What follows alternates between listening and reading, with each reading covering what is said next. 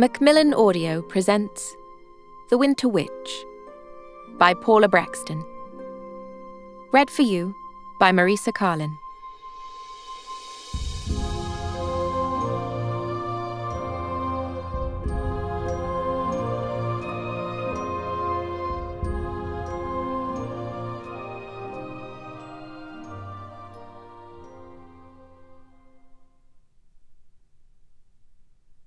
Chapter 1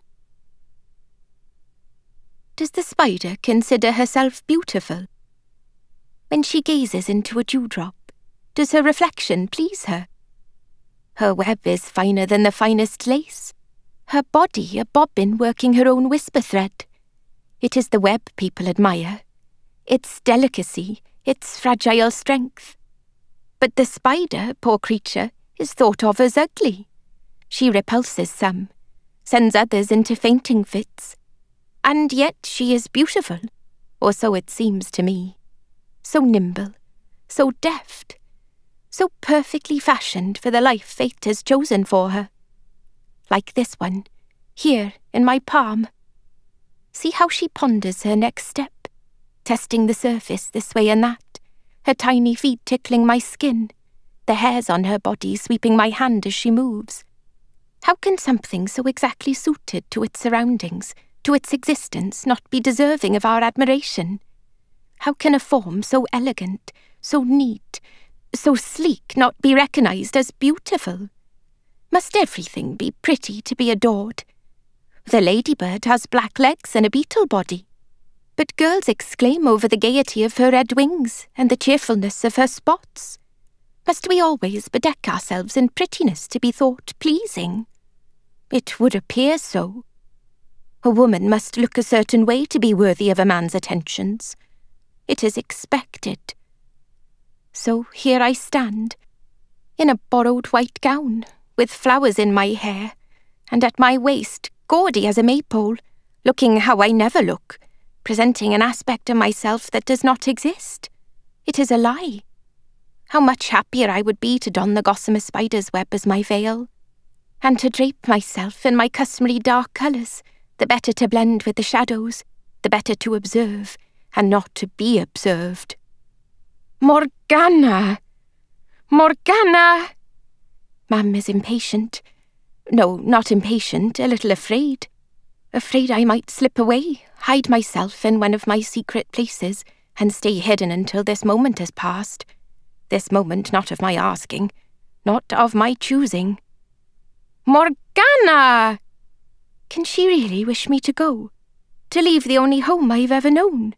To leave her? Surely a daughter's place is at her mother's side. Why must things change? Why will she not allow me to make my own choice in this of all matters? Morgana, what are you doing?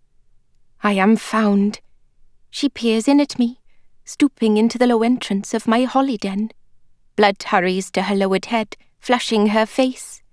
Even in the dim light the prickly shelter allows, I can see she is agitated, and that the rosiness of her cheeks is set against a worrying pallor.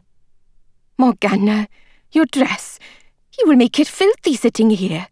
Come out. She withdraws, and I can put off the moment no longer. I ponder the spider in my hand. I could take her with me, pop her in my petticoat pocket. At least then I might have a friend as my witness this day. But no, she belongs here. Why should both of us be uprooted? There, little spinner, back to your web. I return her to her rightful place. I wish I could stay with her in this dark, close space, this earth womb. But my wishes count for nothing now. My fate has been decided. I squeeze out of the den, Outside, the sun hurts my eyes. The brash light illuminates my silly dress and showy flowers. I feel most horribly bright, most ridiculously coloured. What nonsense we are all engaged in. You, child, you have enough mud on you to plant potatoes. What were you thinking, in your wedding gown? She tuts and huffs and frowns at me, but I am unconvinced. I see fear in her eyes, she cannot hide it from me. She ceases beating at my skirts in an effort to remove the dirt and places her hands on my shoulders, holding my gaze as firmly as she grips me. You are a woman now, she says, having just this second called me child. It would serve you well to behave as one. Your husband will expect some manners at the very least. Now it is my turn to frown. Husband. Might as well say owner, master, lord. I turn away. I do not wish to look at her while my heart is full of anger. I feel my bottled fury bubbling within me, and something shifts, something alters. Sounds become distant, voices meaningless. There is such a pressure inside my skull, such a force fighting to be released. My eyelids droop, my movements become slow and leaden. The sensation of falling backward grows. Morgana!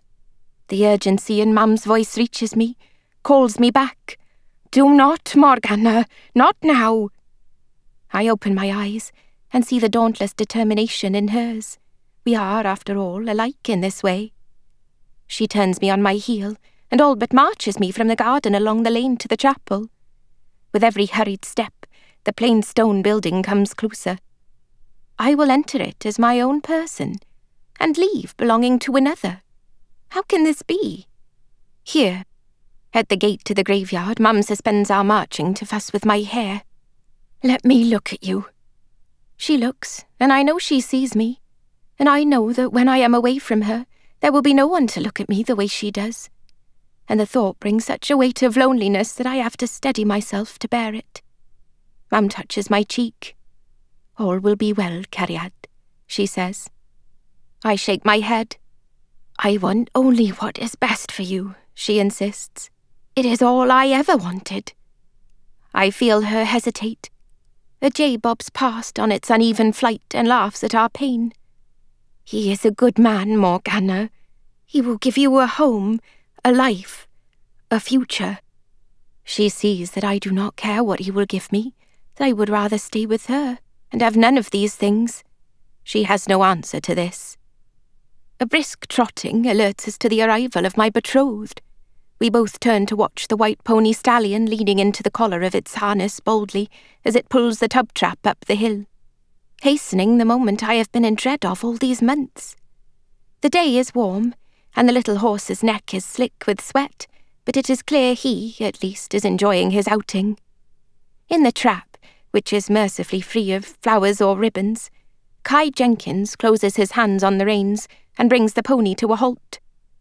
He is a tall man, lean but strong, I think. His face is angular, almost severe, but softened by a full mouth and light blue eyes.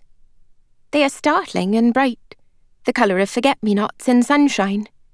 He ties the reins and steps down from the narrow wooden seat. His wool suit is loose on his bony frame. Mum never promised him I could cook. Will he remember that later? It is a bad idea to make assumptions where people are concerned. When he climbs down from the trap, he moves easily, a man clearly accustomed to a physical life. But the hint of shoulder blades beneath his jacket suggests he does not do well. No doubt he has felt a lack of a cook since his first wife died. Three years ago, that was. He loved her, he actually told us that. Came right out with the words. She was all and everything to me, you see? I will not pretend otherwise said he, sitting in our parlour, Mum's best china in his hand, tea growing cold while he filled the room with his unnecessary words. He had looked at me then, as if I were a colt given to biting, and it would fall to him to devise the most effective manner of taming me. I want to be honest with you both, he said. A drover must have a wife to qualify for his licence. There is no one in the region suitable. Why is that? I wondered then, and I wonder now. Why is there no one nearer his home fit to be his bride? Why has he to travel to find someone suitable? How am I suitable? Well, the teacup in Mum's hand had rattled as she spoke. There is a great deal said about love and not much understood, Mr. Jenkins. Respect and kindness have a lot to recommend them. He had nodded then, smiled, relieved that it was agreed. There was to be no love match. Now he takes off his hat and holds it, too tight, in his hands, his long fingers turning it restlessly.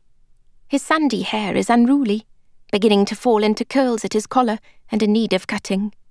His gaze cannot settle on anything, nor anyone. A fine morning for it, Mrs. Pritchard, he says. Mum agrees. Now he puts his eyes on me. You look very well, Morgana. Is that the best he can do? Shall we go in? Mum is anxious to get this done before I take it into my mind to bolt. She still has a firm hold on my arm. Inside, old Mrs. Roberts stands next to the pitifully small floral display. Mum oohs and ahs and thanks her. Reverend Thomas is all welcomes and delighteds. Mum puts me where I am to stand, and Cai Thomas Jenkins stands beside me. I will not look at him. I have nothing to say to him. The Reverend starts up his words, and I go to another place. Somewhere wild and high and free, untroubled by the silliness of men and their plans. There is a piece of hill above Coombe so steep that even the sheep won't tread there. The surface is neither grass nor rock, but shifting shale that defies the hold of foot or hoof. To climb to the top, you have to lean sideways into the slope. Let your feet slide half a pace for each you ascend. No good will come of fighting the mountain. You have to work in harmony with it. Be patient, be accepting of its unsettling ways. It will slowly bear you up to the summit. And at the summit, you will be made anew. Such vistas, such distances. Such air that has not been breathed by damp lungs, or sucked in by furnace or fire. Air that fills your soul as well as your body.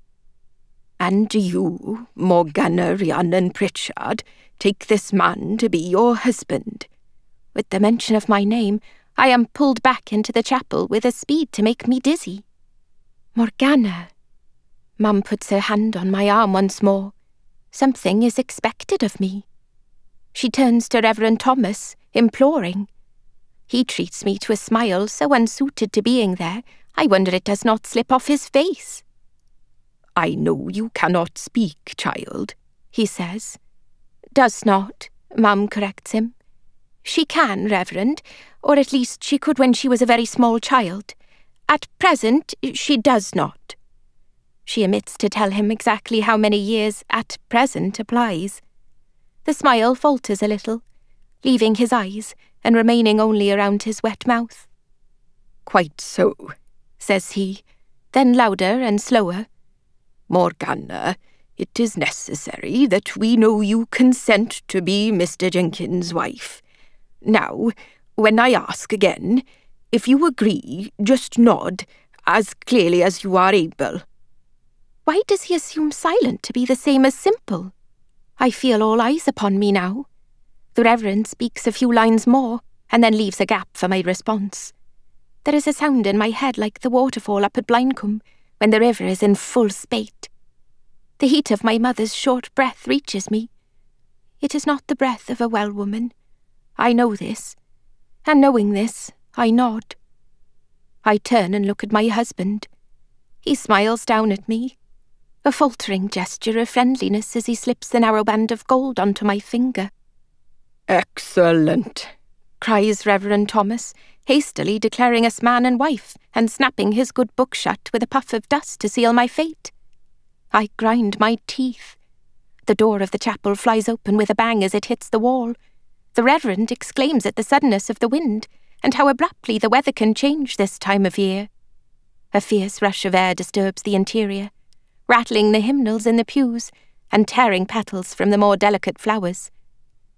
I turn my gaze from a startled Cai Jenkins. I feel my mother's disapproval upon me. She is younger than he recalls, somehow. Perhaps it is the white dress. At eighteen, she is a woman, after all. The distance in age between them is but a few years, even if those years have been, for him, long and slow. Although not uncommon, twenty-five is young to be a widower. He thinks that she is smaller, too. Her frame almost frail. Her mother assured him she is strong, but she looks for all the world as if an October wind up at Ffynnon Las would blow her off her feet. Still, it is the start of summer now. She will have time to settle before winter comes to test her.